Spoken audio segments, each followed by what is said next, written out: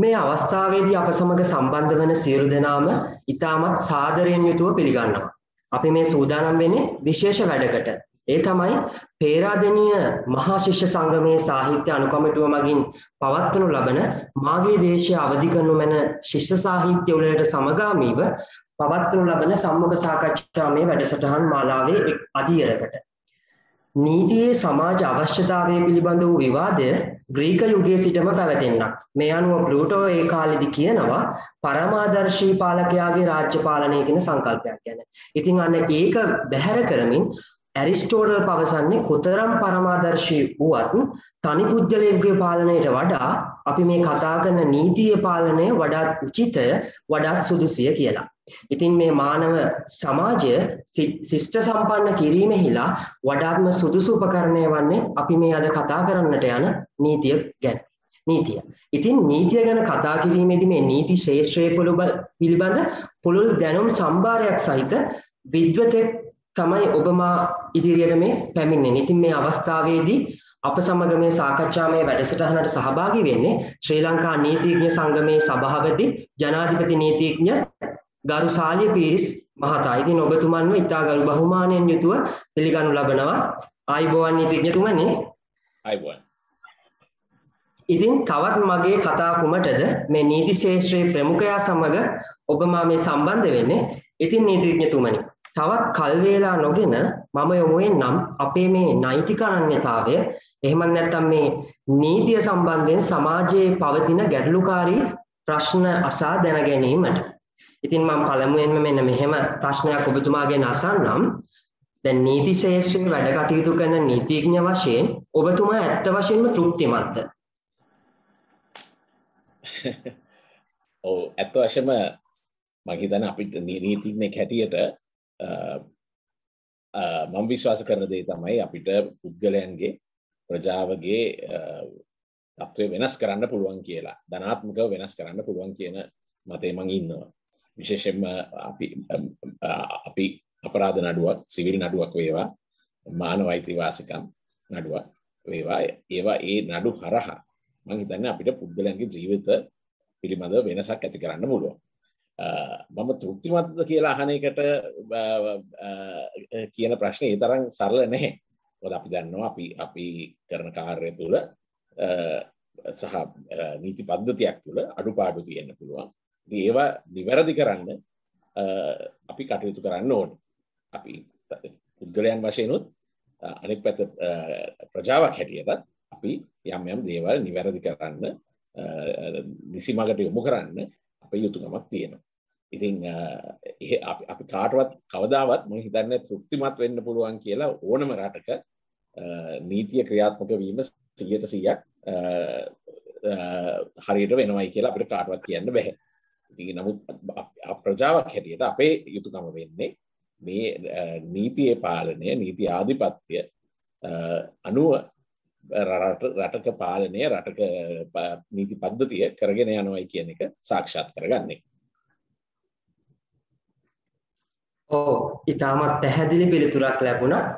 ඉතින් මං කැමති ඔබතුමාගෙන් මෙන්න මේ විදිහටත් අහන්න ඔබතුමා නීතිඥයෙක් වශයෙන් කටයුතු කරනවා. ඒත් ඇයි ඔබතුමා එතනින් එහාට ගිහිල්ලා විනිසුරුවරයෙක් නොවුන කියලා දැනගන්න කැමතියි.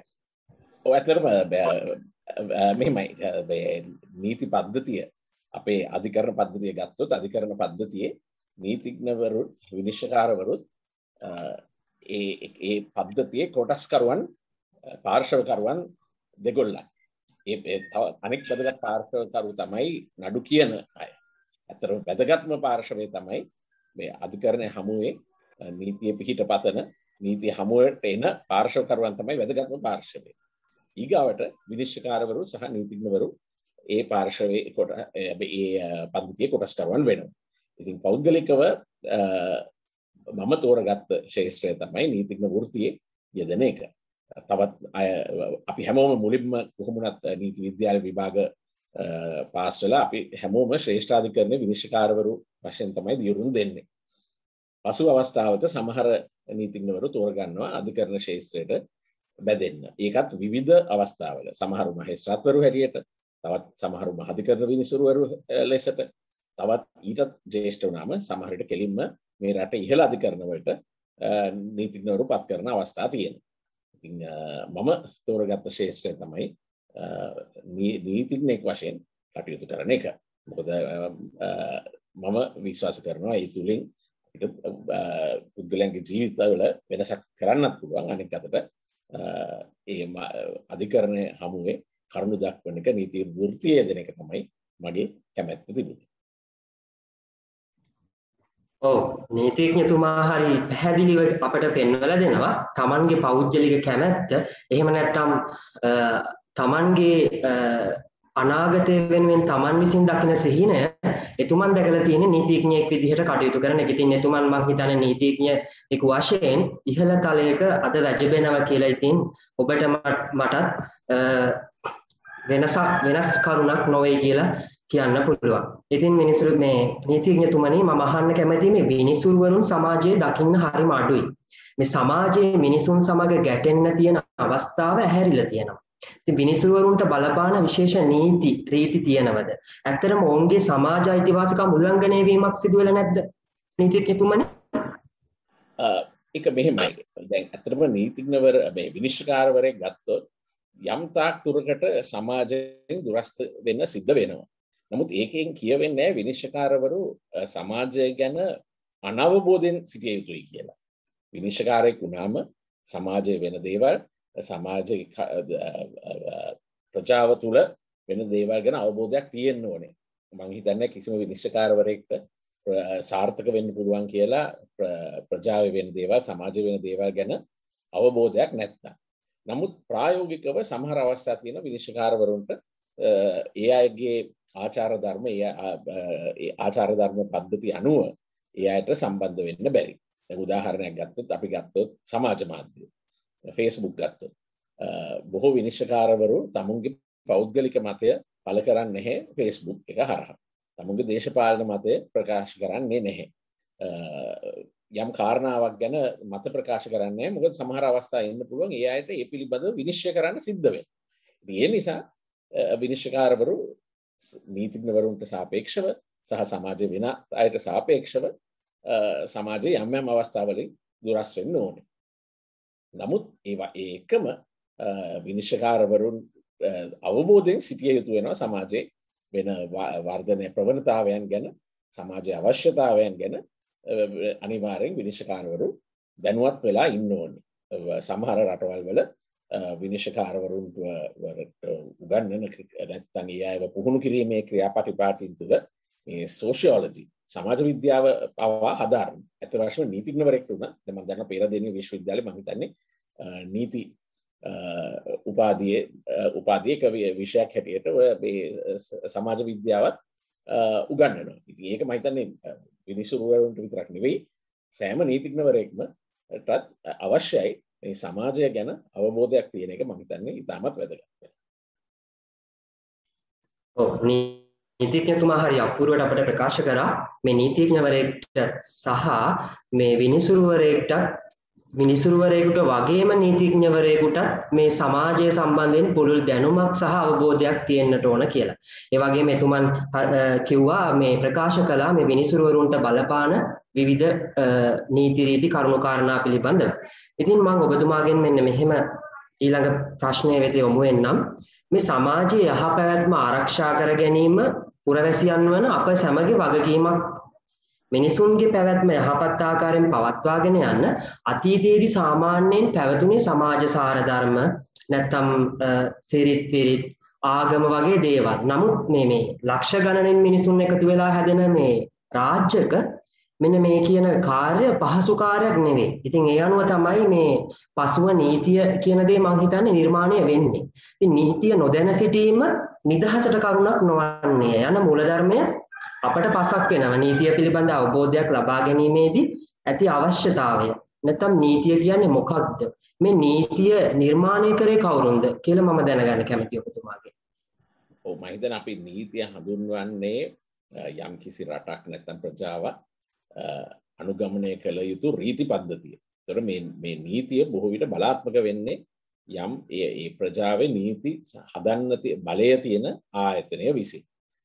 මුල් ඉස්සර කාලෙ ගත්තොත් රජවරු සමහර විට නීති හැදුවා. පසු කාලෙක ව්‍යවස්ථාදායක පාර්ලිමේන්තු තමයි නීති හදලා තියෙනවා. අද නීති ප්‍රධාන වශයෙන් හදන්නේ රටක ව්‍යවස්ථාදායකය විසින් පාර්ලිමේන්තු විසින් තමයි නීති හදන්නේ.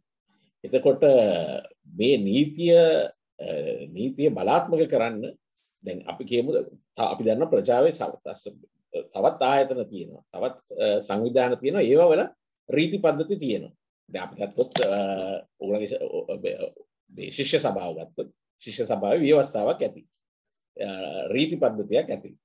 විශ්වවිද්‍යාලය ගත්තොත් සමහරට රීති පද්ධතියක් තියෙනවා. දැන් මේ සමහර රීති පද්ධති සහ නීති අතර වෙනස තමයි නීතිය උල්ලංඝනය කරොත් ඒකට යම් ආකාරයකින් නියම කරලා තියෙන දණ්ඩනයක් තියෙනවා දණ්ඩනයක් හරි මොනවා හරි ඵල විපාක තියෙනවා නීතිය උල්ලංඝනය කරොත් ඒ වගේම තමයි නීතිය බලාත්මක කරන්න රටක අධිකරණ පද්ධතියක් තියෙනවා ඉතින් මේ මේ තමයි නීතිය අනෙක් චර්යා ධර්ම වලින් වෙනස් වෙන එක. ඒතර අපි ගත්තොත් ආගමකත් චර්යා ධර්ම තියෙනවා.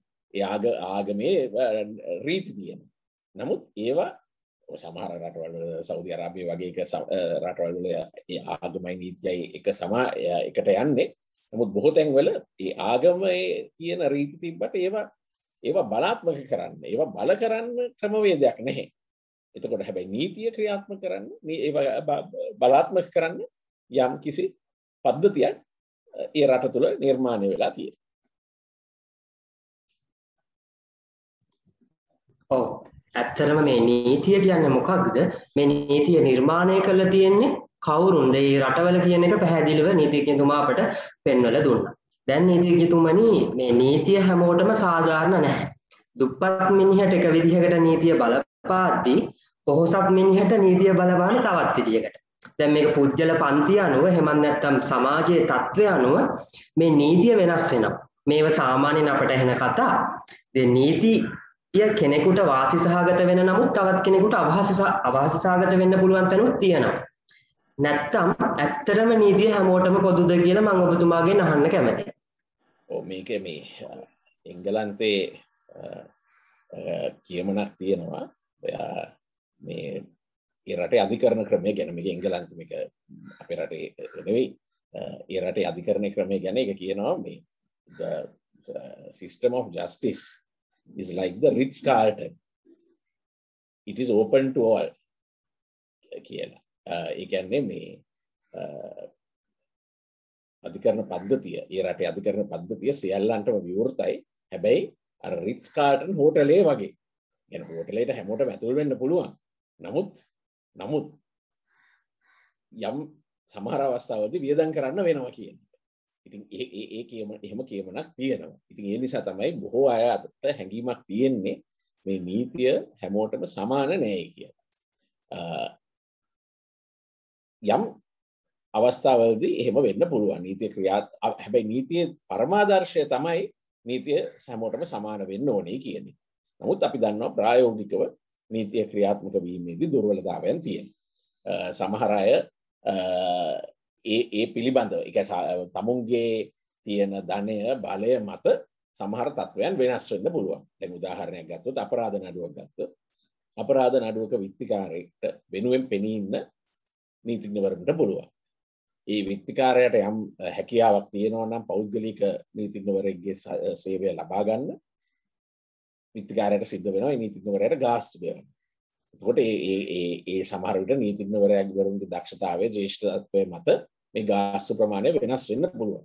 එතකොට සම යම් පුද්ගලයෙක්ට ගාස්තු ගෙවන්න බැරි නම් රජෙන් නීතිඥවරයෙක් පත් කරනවා. රජෙන් නීතිඥවරයෙක් පත් කරනකොට සමහර රජෙන් පත් කරන නීතිඥවරු අතිශයින් දක්ෂයි.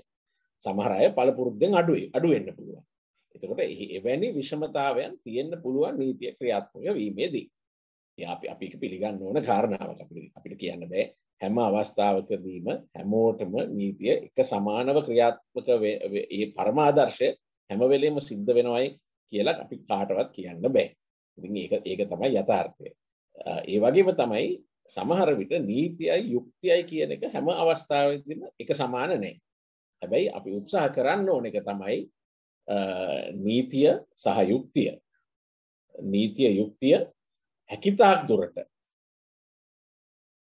අපි එක ළඟින් යන්න ඕනේ. ඒක තමයි අපේ යුතුකම වෙන්නේ එතකොට එතනදී නීතිඥවරුන්ටත් විනිශ්චකාරවරුන්ටත් වගකීමක් තියෙනවා. වගකීමක් තියෙනවා මේ මේ විෂමතාවයන් අවම කරන්න. ඇතකට උදාහරණ හැරට සමහර රටවල් වල නීතිඥවරුන්ට තමුගේ චර්යාධර්ම පද්ධතියෙන්ම බල කරනවා. යම් තමුන්ගේ වෙලාවෙන් යම් කොටසක් ගත කරන්න ලීගලේඩ්වල් නීති ආධාර. එතකොට ජේෂ්ඨතම නීතිඥෙක් දක්ෂතම නීතිඥෙක් පැය ගානක් ඔහු මාසට වැය කරනවා මේ නීති ආධාර ක්‍රමය ක්‍රමය. තොට ඒ තුළ මේ විෂමතාවයන් අවම කරන්න කටයුතු කරන්න පුළුවන්. තොට ලංකාවෙත් ගත්ත අපි දන්න ජේෂ්ඨ නීතිඥවරු ඉන්නවා. තමුන්ගේ සේවාදායකයට ගාස්තු ගෙවන්න බැරින සේවාදායකගේ ඔහු ඇවිල්ල තින්න සාධාරණ හේතුවකටන ඔහු වෙනුවෙන් ගාස්සු රහිතව පෙනී සිටින බොහෝ අවස්ථා තියෙන නමුත් ඔබ කියන එක යම් සත්‍යතාවයක් තියෙනවා. නීතිය හැම හැමෝටම හැමවෙලේම සමාන වෙනවයි කියලා ප්‍රායෝගිකව සමානව කටයුතු වෙනවා කෙරෙනවයි කියලා අපි කාටවත් කියන්න බෑ. ඔව් ඔන්න සමාජයේ ඔබට දැන් ගැටලුවක් තියෙනවා නම් මෙන්න මේ කියන ඉහළ පන්තිවල අයට එහෙම නැත්නම් ධනය තිබෙන පුජ්‍යලයන්ට නීතිය එක් ආකාරයකින් එක් ආකාරයෙන් ක්‍රියාත්මක වෙනවයි කියලා අපට වෙන ආකාරයකින් ඔබලාට වෙනත් ආකාරයකින් ක්‍රියාත්මක වෙනවයි කියලා මතයක් තියෙනවා නම් ඔන්න එතුමන් පැහැදිලි පිළිතුරක් ලබා දුන්න කියලා මට හිතෙනවා. ඉතින් දැන් මේ නීතිඥතුමනි මේ පුජ්‍යල අනන්‍යතාවය ගැන සාකච්ඡා කරන කොට මේ මානව හිමිකම් නැත්තම් එහෙම නැත්තම් මේ මානව අයිතිවාසිකම් කියන්නේ හරි පුරුපුරුදු වචනයක්නේ හැබැයි තාමත් මානව හිමිකම් කියන්නේ මොනවද? අපේ මානව අයිතිවාසිකම් උල්ලංඝනය වෙලා තියෙනවද? උල්ලංඝනය වෙච්ච අවස්ථාවක කොහොමද පියවර ගන්නෙ? කියන එක සම්බන්ධයෙන් බොහෝ දෙනෙකුට අවබෝධයක් නැහැ. ඉතින් මම කැමති ඔබතුමාගේ නහන්න මේ මානව හිමිකම් කියන්නේ මොනවද? ඒ වගේම මානව හිමිකම් උල්ලංඝනය වුණු වෙලාවක ගන්න පුළුවන් නෛතික ක්‍රියාමාර්ග මොනවද කියලා. ඇත්තටම මානව හිමිකම් කියන්නේ මානව හිමිකම් සහ මූලික අයිතිවාසිකම් කියන්නේ දෙකක්. මානව හිමිකම් කියන්නේ පොදුවේ මිනිස් වර්ගයාට තියෙන හිමි වෙලා තියෙන යම් අයිතිවාසිකම් හිමිකම් තමයි මානව හිමිකම් කියන්නේ. එතකොට මේ ඇත්තට මේ මානව හිමිකම් අලුත් දෙයක්ුත් නෙවෙයි. මේ සමහරු හිතනවා මේ මානව හිමිකම් කියන්නේ බටහිර සංකල්පයක් කියලා. ඒ නිසා මානව හිමිකම් වලට දොස් කියන පුද්ගලයෝ ඉන්නවා. නමුත් මානව හිමිකම් ඈත අතීතයේ සිටම විවිධ ආගම් ධර්මවල විවිධ දාර්ශනිකයන් පිළිගත්ත කාරණා තමයි මේ මානව හිමිකම් කියන්නේ. අද මානව හිමිකම් කෝඩිෆයි වෙලා සංග්‍රහිත වෙලා තියෙන්නේ විශ්ව මානව හිමිකම් ප්‍රකාශය 1948 හදපු. ඒකේ ඒකේ ලයිස්තු ගත කරලා තියෙනවා මිනිස් වර්ගයාට හිමි හිමි වෙන අයිතිවාසිකම්. දැන් මේවා අතරින් සමහර අයිතිවාසිකම් ඒ රටවල් තුල නීතිය මගින් බලාත්මක කරලා තියෙනවා. සමහර අයිතිවාසිකම් ඒ ඒ ඒ රටේ ඒ ඒ රටේ නීතිය මගින් බලාත්මක වෙලා තියෙනවා. එතකොට ඒකත් රට එක එක රට අනුව වෙනස් වෙන්න පුළුවන්. දැන් අපේ රටේ ගත්තොත් අපේ රටේ ආණ්ඩුක්‍රම ව්‍යවස්ථාවේ තුන්වන පරිච්ඡේදයේ 10 වෙනි සිට 17 වෙනි ව්‍යවස්ථා දක්වා මේවා මේ මූලික අයිතිවාසිකම් විස්තර කරලා තියෙනවා. එතකොට මේ මූලික අයිතිවාසිකම් විස්තර කරලා ඒවා නීතිය මගින් බලාත්මක කරලා ආණ්ඩුක්‍රම ව්‍යවස්ථාව මගින් මූලික අයිතිවාසිකම් හැටියට පිළිගෙන තියෙනවා. ඒ කියන්නේ මානව හිමිකම් කියන වඩා විශාල අයිතිවාසිකම් අතරේ තෝරාගත් අයිතිවාසිකම් ඒ ඒ රටේ එක් ආණ්ඩුක්‍රම ව්‍යවස්ථාවේ නැත්නම් වෙන පනතක මගින් බලාත්මක කරන්න තියෙන හැකියාව පිළිගෙන තියෙන. එතකොට දැන් ගත්තොත් අපේ රටේ තියෙන ප්‍රධාන ඒවා තමයි සිතීමේ සිතීමේ ආගමික සහ හෘද සාක්ෂි නිදහස. වද හිංසාවෙන් තොර ජීවත් වීමේ නිදහස. වද හිංසාව වද හිංසාවට ලක් නොවීමේ නිදහස. සර්ව සාධාරණත්වයේ අයිතිය. වෙනස් කොට නොදැක්වීමට තියෙන අයිතිය. ඊගාවට තියෙනවා අත්තනෝමතිකව අත්තඩංගුවට ගන්න බෑයි කියලා. අත්තනෝමතිකව සිරභාරයට තබාගෙන ඉන්න බෑ. සාධාරණ නඩු විභාගයක තියෙන අයිතිය. අත්තනෝමතිකව දඩුවම් නොලැබීමට තියෙන අයිතිය. අපි දන්නවා සමහර අවස්ථාවකදී පොලිසිය ඔය ආයුධ පෙන්වන්න කියලා ගෙනihin සමහර පුද්ගලයන් ඊට පස්සේ එතන ඝාතනයට ලක් වෙනවා. ඒ ඒ දහතුන හතර ව්‍යවස්ථාව තියෙන අත්නෝමාතික දඩුවම් වලට එරෙහි නිදහස උල්ලංඝනය. එතකොට ඊගාවට තියෙනවා 14 වෙනි ව්‍යවස්ථාව යටතේ නන් වැදෑරුම් නිදහස් කියලා විස්තර කරනවා භාෂණයේ නිදහස තමුන් කැමති ආගමික වතාවන් වල යෙදීමේ නිදහස සංගමේ නිදහස ඒ වගේ විවිධ නන්වැදෑරුම් නිදහස් විස්තර කරලා තියෙනවා. ඊට අමතරව අලුත් අයිතිවාසිකම 19 වෙනි සංශෝධනය මගින් 2015 හඳුන්වලා දුන්නා. තොරතුරු දැන ගැනීමට තියෙන අයිතියත් අපේ රටේ මූලික අයිතිවාසිකම්. දැන් මේ අයිතිවාසිකම් රටින් රට වෙනස් වෙන්න පුළුවන්. දැන් උදාහරණයක් හැටියට එක්සත් රාජ ඇමරිකා එක්සත් ජනපදයේ අවි ආයුධ දරා ගැනීමට තියෙන අයිතිය මූලික අයිතියක්. the right to bear arms. ඒ රටේ තියෙන ඒ සංස්කෘතිය ඒවත් එක්ක පිළිගෙන තියෙන මේ ආයුධ තබා ගැනීමට තියෙන අයිතිය මූලික අයිතියක් කියලා. දැන් අපේ රටේ එහෙම අයිතියක් නැහැ. ඉතින් මේ රටින් රටට මූලික අයිතිවාසිකම් වෙනස් වෙන්න පුළුවන්.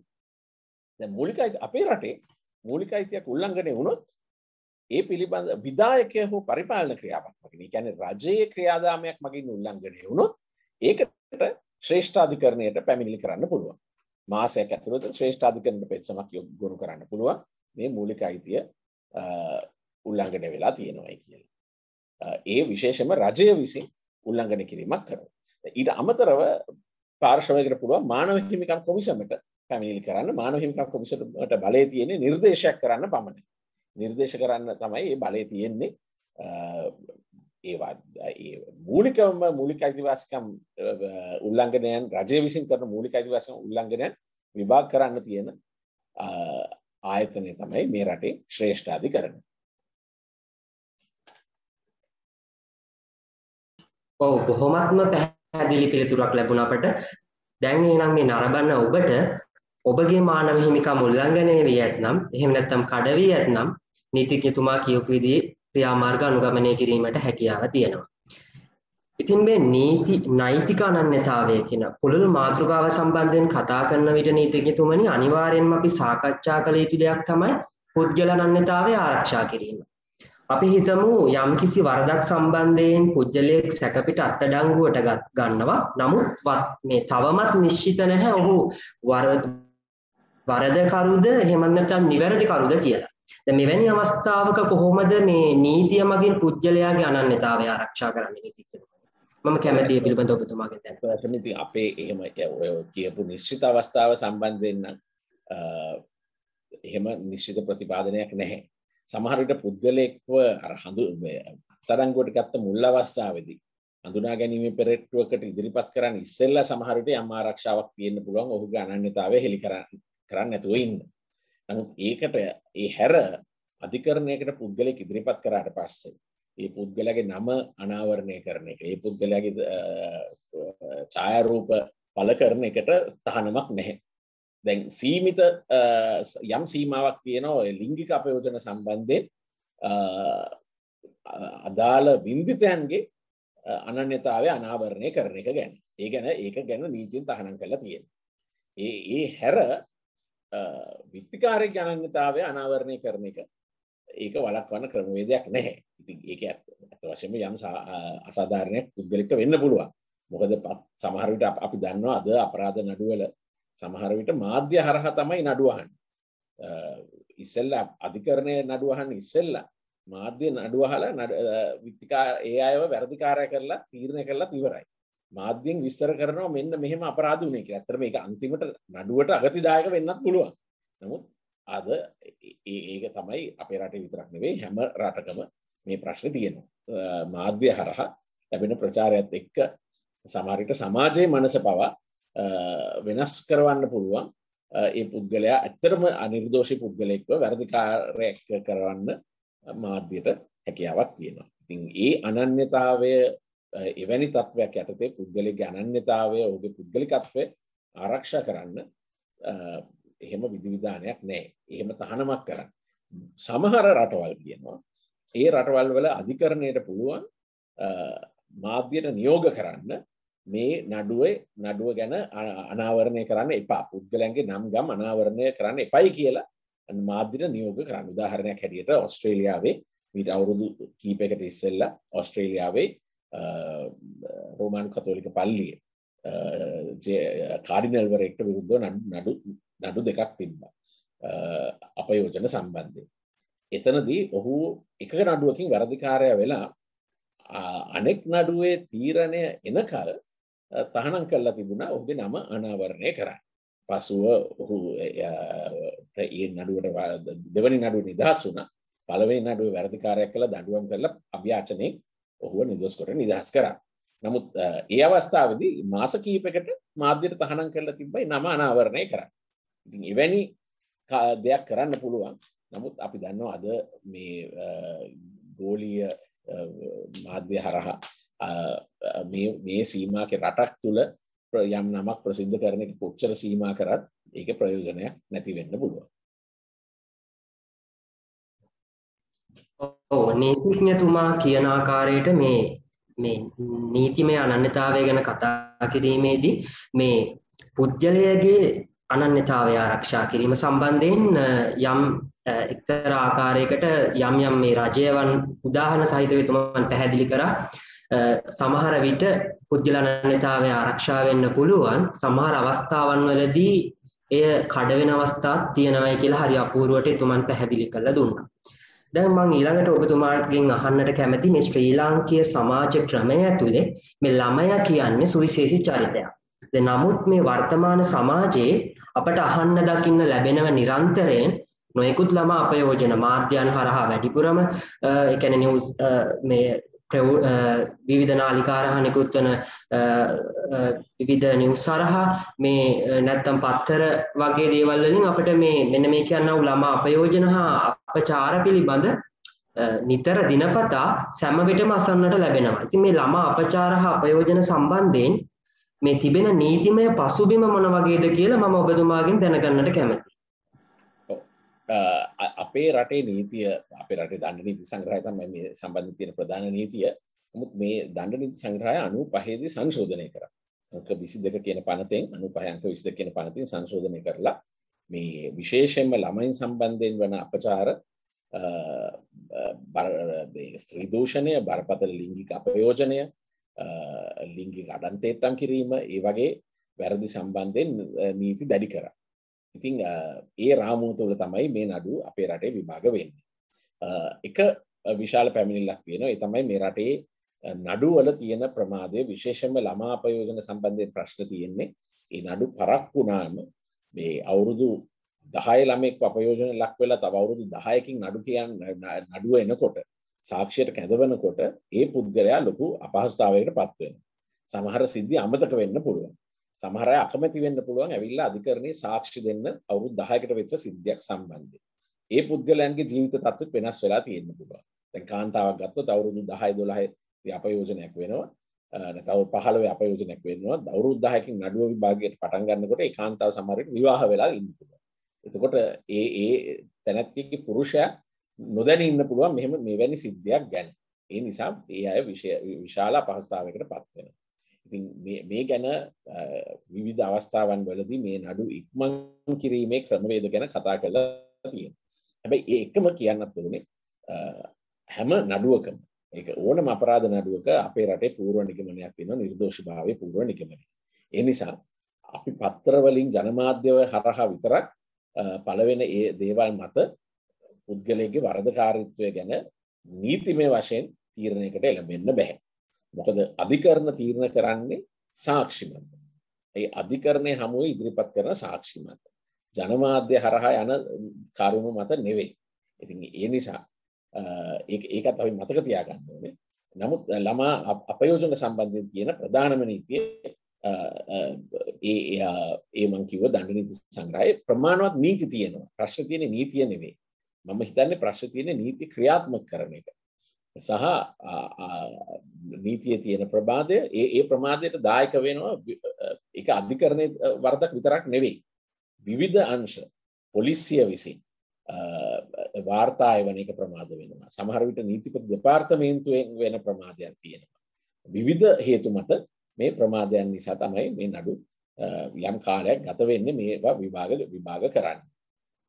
ඉතින් එතනදී විශේෂයෙන්ම අපේ රටේ නීති දැන්ටමත් ප්‍රතිපාදන තියෙනවා මේ ළම චයිල්ඩ් ෆ්‍රෙන්ඩ්ලි විශේෂයෙන් ළමෙක් අපයෝජන ලක් වෙලා තියෙනවා නම් ඒ ළමයාගේ කට උත්තර ගන්නකොට ළමයාගේ සාක්ෂි ගන්නකොට හැකිතාක් දුරට ඒ ළමයාව අපහසුතාවයට පත් නොකර ඒ කටයුතු කරන්න.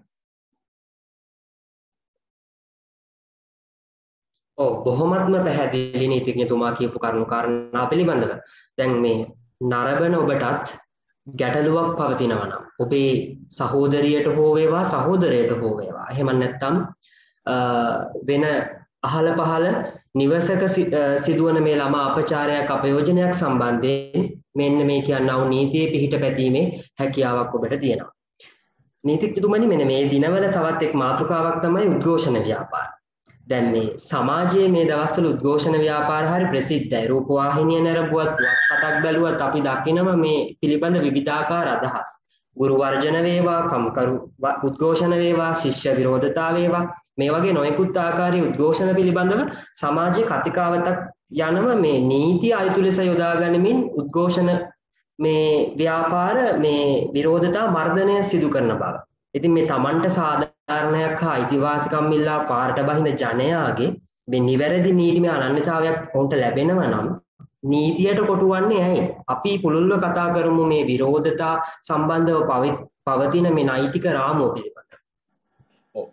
එකක් තමයි අපේ රටේ ආණ්ඩු ක්‍රම ව්‍යවස්ථාවේ පිළිගෙන තියෙනවා මේ සාමකාමීව රැස්වීමේ නිදහස.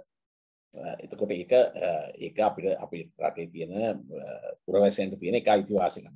එතකොට ඒක තුල සහ අදහස් ප්‍රකාශ කිරීමේ නිදහස. ඒතර මේ දෙකම එකතු වෙනකොට තමයි මේ මේ දෙකයි තව සංගමයේ නිදහස. තමුන් කැමති අයව ආශ්‍රය කරන්නත් කැමති නැති අයව ආශ්‍රය නොකරන්නත් තියෙන නිදහස. අපි කියන සංගමයේ නිදහස කියලා. එතකොට මේවා ආශ්‍රිතව තමයි මේ උද්ඝෝෂණය කියන උද්ඝෝෂණ මේ අයිතිවාසිකම් කීපයක් හරහා ප්‍රකාශ වෙනවා.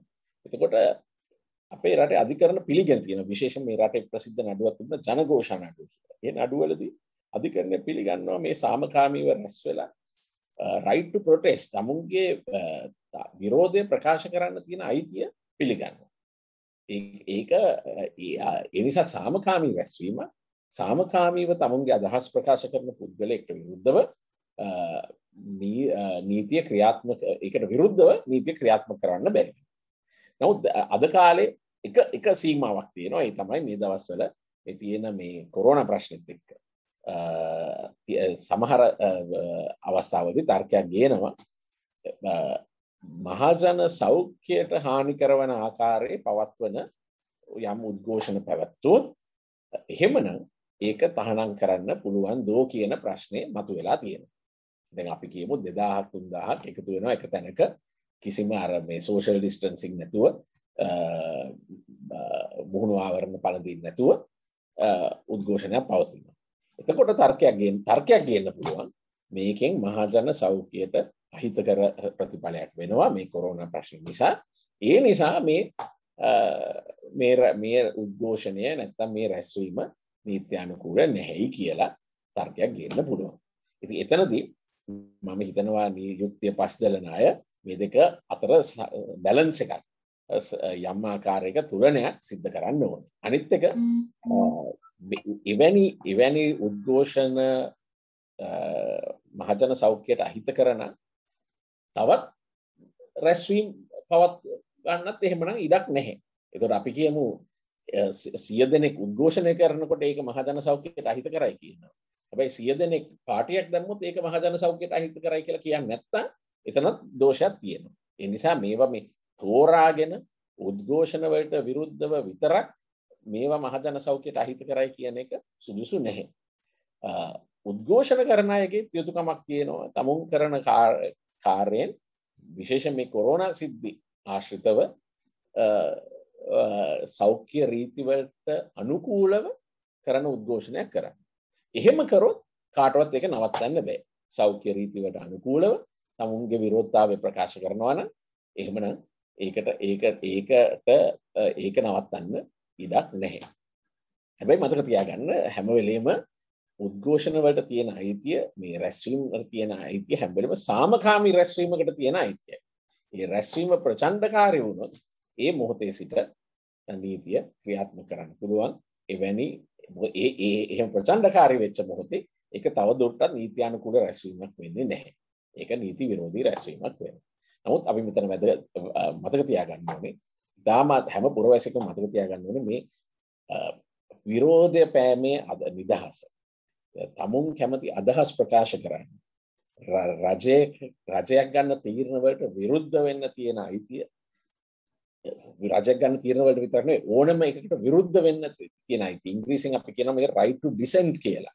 මේක ප්‍රජාතන්ත්‍රවාදී සමාජයක ශිෂ්ට සමාජයක තියෙන ඉතාමත් වැදගත් අයිතියක්.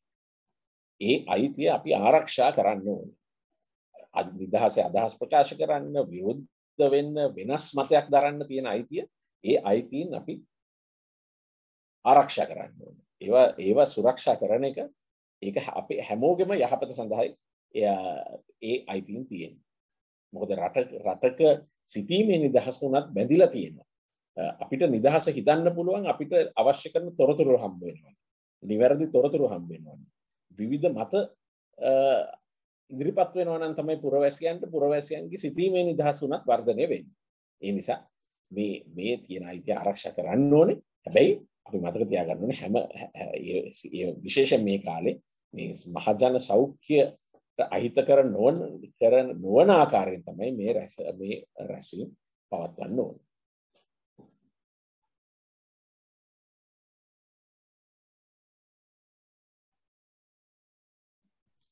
ඔව්.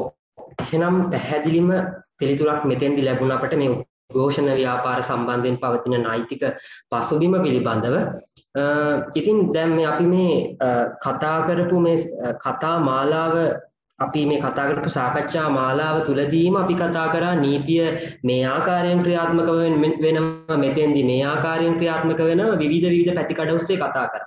මම කැමති නීතිඥතුමනි දැනගන්න ඔබතුමන් මේ පවතින නීතිය සම්බන්ධයෙන් තෘප්තිමත් වෙනවද මේ නීතියේ පවතින හිඩැස් මොනවද කියලා. සහ මොනවද මේ නීතියට අලුතෙන් එකතු විය යුතු දේ කියන පිළිබඳව පොඩි අදහසක් දැනගන්නට කැමති. මෙහෙමයි මහිතන අපිට එකක් එකකට සීම කරන්න බැහැ මම පටන් ගන්න පළවෙනි ප්‍රශ්නේ මම දැන් පවතින නීතිය ගැන තෘප්තිමත් වෙනවද කියන එක. මම හිතන්නේ නීති වෙනස් වෙන්න ඕනේ. විශේෂයෙන් සමාජයේ වෙනස් වීම වලට හරියන්න නීතිය වෙනස් වෙන්න ඕනේ. එතකොට අපේ රටේ ගත්තොත් අපේ රටේ ක්‍රියාපටිපාටික නීතිය අධිකරණවල ක්‍රියාපටිපාටික නීතිය වෙනස් වෙන්න ඕනේ. සමහර ඒවා වඩා සරල කරන්න ඕනේ. සාමාන්‍ය පුද්ගලයෙක්ට මේ නීතිය ගැන විශේෂ දැනුමක් නොමැති පුද්ගලයෙක්ට නීතිය පහසු කරන්න ඕනේ. ඊගාවට තමයි අපේ තියෙන මේ රෙගුලාසි මේ රෙගුලාසි වැඩි. සමහර අවස්ථා තියෙනවා අපි ගත්තොත් යම් ලේඛනයක් ගන්න ගියාම ළඟදී මට සිද්ධ වුණා මගේ මිත්‍රයෙක්ගේ මරණයක් වෙලා ඒ මරණ සහතික ගන්න ගියාම මම තේරුම් ගත්ත කොච්චර ඒ ෆෝම් පුරවන්න තියෙනවද කියලා. ෆෝම් කීපයක් පුරවන්න තියෙනවා ඒවල ෆොටෝකොපි දෙන්න ඕනේ ෆොටෝකොපි හයක් ගන්න කියනවා. විවිධ තැනින් තැනට යනවා යවන් යවනවා. එතකොට මේ මේ සම්බන්ධයෙන් තියෙන රීති රෙගුලාසි අඩු කරන්න ඕනේ. ඒකට මේකට කියනවා ඩීරෙගියුලයි කියලා. ඩීරෙගියුලේෂන් කියලා. මේ රෙගියුලේෂන්ස් තියෙන රීති සරල කරන්න. ඒක තමත් වැදගත්. මොකද එහෙම එහෙම මේ මේ දේවල් සරල වුණොත් අනිත් එක තමයි නීතිය කියන දේ මේ සාමාන්‍ය මිනිස්සෙක්ට තේරුම් ගත යුතු ආකාරයෙන් තියෙන්න ඕන. එහෙම නැත්නම් මේ නීතිය කියන්නේ නීතිඥවරුන් සහ විනිශ්චයකාරවරුන් අතේ විතරක් තියෙන දෙයක් කියන එකෙන් එහාට යන්න ඕනේ ඉතින් නීතිය සරල විය යුතුයි නීතිය ඒ වගේම නීතිය සාමාන්‍ය පුද්ගලයන්ට අවබෝධ කරන කරගන්න පුළුවන් ආකාරයෙන් වෙන්න ඕන ඉතින් එහෙම ගන්නකොට අපි කාටවත් කියන්න බෑ පවතින දේවල් ගැන අපි හැම වෙලෙම සතුටුයි කියලා. ඒ නිසා තමයි අපි අපි බොහෝ විට කියන්නේ සමහර දේවල් වෙනස් වෙන්න ඕනේ කියලා. ඒ නිසා තමයි රජය වුණත් යම් යම් නීති වෙනස් කරන්න උත්සාහ කරන්නේ. ඒ සියල් සියලු දේ ගත්තත් මම කියන්න ඕනේ වෙනත් නීති පද්ධතිවලට වඩා අපේ නීති පද්ධතිය ඉදිරියෙන් සමහර රටවල් තියෙන අපිට වඩා පසුපසින් ඉන්න රටවල් තියෙන එනිසා එහෙම ගත්තු නිදහස අතින් ගත්ත මං හිතන්නේ අපේ රටේ යම් නිදහසක් තියෙනවා. ඒවා වැඩි වෙන්න පුළුවන් ඒවා ඒවා වඩා දියුණු වෙන්න පුළුවන්. නීතිය ඒ ආකාරයෙන් දියුණු විය යුතුයි කියන මතේ මං ඉන්නවා. ඒ නිසා 100ක් අපිට කියන්න බෑ අපි සතුටු වෙනවයි කියලා. මේ සම්බන්ධය. වෙනස් වෙන්න ඕන තැන් කිව්වොත් අපිට එකට සීමාවක් නෑ. අපි ආණ්ඩු ක්‍රම ව්‍යවස්ථාවේ සිට වෙන විවිධ නීති ගත්තොත් ඒවා වෙනස් වෙන්න ඕනේ. මම උදාහරණ කීපයක් කියන්නේ. අපි ගත්තොත් ආණ්ඩු ක්‍රම ව්‍යවස්ථාව තුළ වුණත් දැන් අපේ රටේ ප්‍රකාශිත අයිතියක් නැහැ ජීවත් වීමේ නිදහස. වියන්ගෙන් තියෙනවා කාවත් අත්නෝමතිකව මරන්න බෑ කියලා. හැබැයි අර ඉන්දියාවේ තරම් ජීවත් වීමේ නිදහසක් කියලා නෑ. මානව අභිමානයෙන් යුක්තව ජීවත් වීමේ නිදහස කියන මූලික අයිතියක් මම හිතනවා අපේ රටේ ආණ්ඩු ක්‍රම ව්‍යවස්ථාවට ඇතුල් විය යුතුයි කියලා. ඊගාවට පරිසරය සම්බන්ධයෙන් තියෙන මූලික අයිතිවාසිකම්.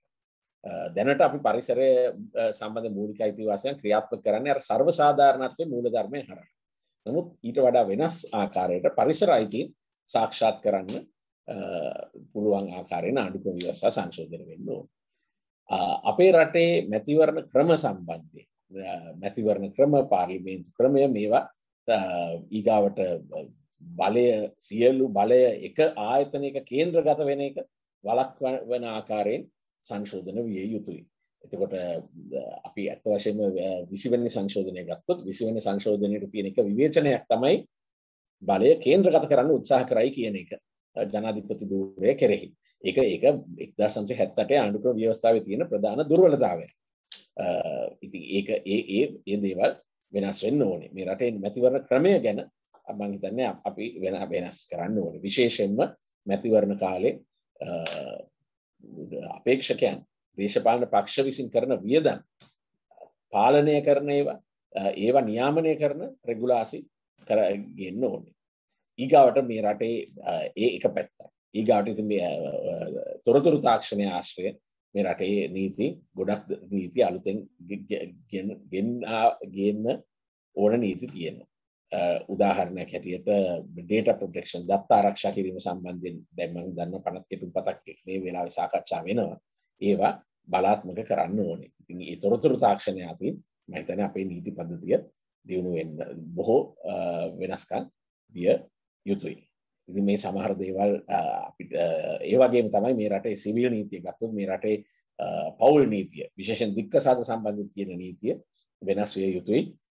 විශේෂ සාමාන්‍ය නීතිය යටතේ ජෙනරල් මැරේජස් ඕඩිනන්ස් එක යටතේ විවාහ වෙනවා නම් ඒ දික්කසාද වීම ඉතාමත් දුෂ්කරයි. පාර්ශවයන් සමහරට අවුරුදු ගානක් දික්කසාද නඩු නඩු කියන්න වෙන අවස්ථාවන් තියෙනවා. ඉතින් ඒ ඒ නීති වෙනස් වෙන්න ඕනේ. මංතර අපේ නීති පද්ධති ගත්තොත් බොහෝ නීති තියෙනවා. ඒවා සංශෝධන වෙන්න ඕනේ. අපි දන්න මේ වෙලාවේ අධිකරණ අමාත්‍යාංශය ඒ පිළිබඳව කටයුතු කරනවා. හැබැයි මේ හැම දෙයක්ම කරන්න ඕනේ. මේ රටේ මිනිස්සුන්ගේ අදහස් ලබාගෙන තමයි නීති වෙනස් වෙන්න ඕනේ. එහෙම නැත්නම් ඒ නීති ඒවා මේ අත්නෝමතිකව නීති වෙනස් කරන එකත් සුදුසු නෑ. ඔව්. පැහැදිලිවම නීතිඥතුමා ප්‍රකාශ කරා මේ අපේ රටේ පවතින නීතියට එකතු විය යුතු තැන් සහ නීතියේ වෙනස් විය යුතු තැන් පිළිබඳ පැහැදිලිව අපට අවබෝධයක් ලබා දුන්න. එහෙනම් ඔබට අකටයුත්තක් සිදුවනවා නම් අපි මේ කතා කරන නීතියේ පිහිට පතන්නට හැකියාව ලැබෙනවා. ඉතින් බොහෝමයක්ම පැහැදිලි පිළිතුරු ලැබුණ අපට මේ නෛතික අනන්‍යතාවය පිළිබඳ. ඉතින් මං හිතනවා ඔබට නීතිමය සම්බන්ධයෙන් පැවති ගැටලු රැසකට සාර්ථක විසඳුම් ලැබුණ කියලා. ඉතින් අප සමග මෙම සාකච්ඡාමය වැඩසටහනට සහභාගී වූ ශ්‍රී ලංකා නීතිඥ සංගමයේ සභාපති ජනාධිපති නීතිඥ ගරු සාලිය පිරිස් මැතිතුමාට ඔබතුමාගේ වටිනා කාලය මේ අපගේ සාකච්ඡාමය වැඩසටහන වෙනුවෙන් වෙන් කිරීම පිළිබඳව මාගේ හෘදයාංගම ස්තුතිය පුද කර සිටිනවා. නීතිඥතුමනි ඔබතුමන්ට බෙහෙවිත්ම ස්තුතියි අපගේ මේ වැඩසටහනට සහභාගී වීම සම්බන්ධයෙන්